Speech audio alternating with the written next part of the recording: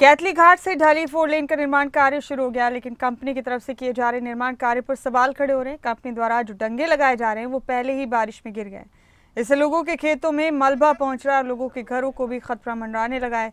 Company द्वारा निर्माण कार्य से निकलने वाले मलबे को भी जगह जगह अवैध रूप से डम किया जा रहा है, जो कभी भी कहर बरसा सकता है। ऐसे में स्थानीय लोगों में भी डर के साए हैं। लोगों ने अब इसके खिलाफ मोर्चा खोल दिया है।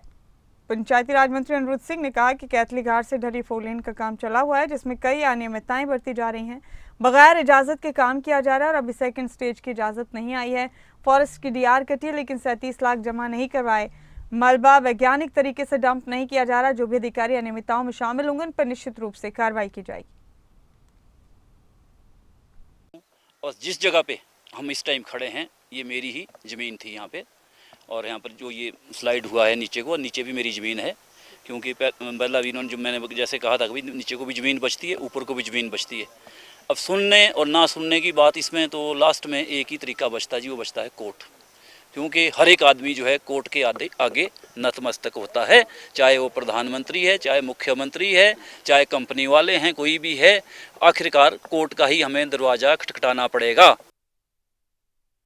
फोर लेन का जो कंस्ट्रक्शन कैथलिक घाट ढली जो कंस्ट्रक्शन वर्क चला है, इससे जो लोगों को परेशानी है, परेशानी मेन है कि आपने अभी स्वयं देखा ही है यहाँ पर नीचे को, जो कंस्ट्रक्शन वर्क के लिए जो क्रेट वॉल लगाई है और डंपिंग जो मिट्टी जो इसमें स्टैक करी जा रही है, और वो अभी एक जो बारिश हुई, पहली बारिश से ही मानसून से जो प्री मानसून की बारिश आई, उससे सारा के सारा डंगा गिर गया, नीचे जो क्रेट वॉल गए थे गिर गया, और वो मिट्टी जो है सारी लोगों की जो प्राइवेट जो ज़मीनें हैं, उसमें चली गई।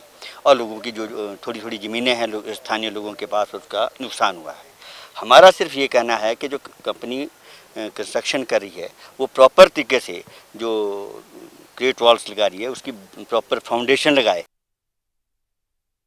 देखिए, जो नेशनल हाईवे और ऑफ़ अथॉरिटी जो काम कर रही है, जो कि मैं समझता हूँ गावर एंड कंपनी जो